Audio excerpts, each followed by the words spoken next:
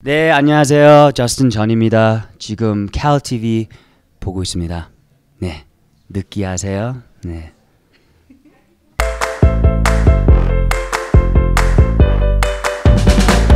I thought there were a lot of artistic scenes. What techniques did you use to film in this piece? The artistic choices, it's black and white, and that's to make you just forget, not think about the time period. You just automatically tell yourself, okay, it's not 2017. And I don't want, I didn't want them spending the first 15 minutes trying to get into it being 1992. Um, and stylistically, it also gives me different ways to shoot.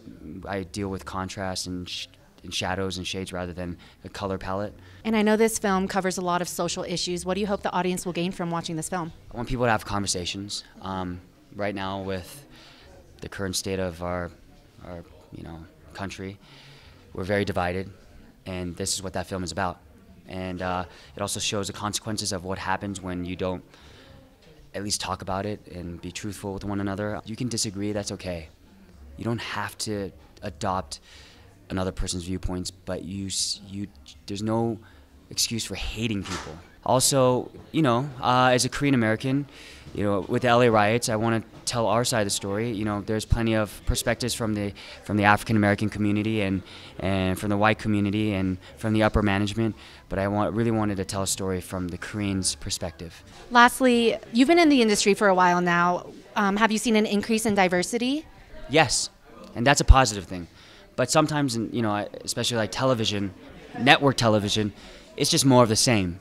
I think cable television is wonderful, and they're doing a really great job with diversity, as you can see in The Walking Dead, or you know, Master of None, or you know, uh, even you know HBO, and they're all starting to cast much more diverse.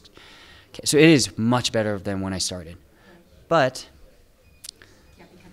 we got to keep we got to keep moving forward. Another thing is like, come on, like uh, the Asian American community, don't be apathetic.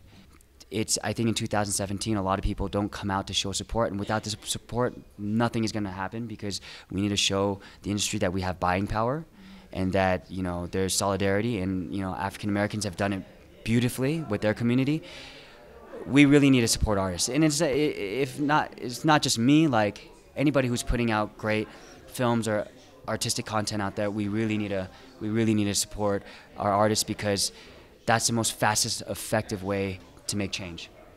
Definitely. Thank you so much for joining us, Justin. Thank you. name is Curtiss Cook Jr. and and you're watching Cal TV.